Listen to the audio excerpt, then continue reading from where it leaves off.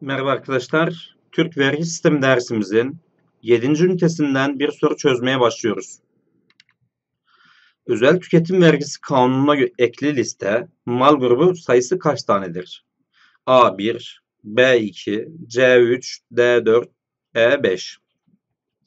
Özel tüketim vergisi kanununun konusuna giren ürünler kanuna ekli 4 ayrı listede belirtilmiştir. Bunlar bir sayılı liste, iki sayılı liste, üç sayılı liste ve dört sayılı liste şeklinde.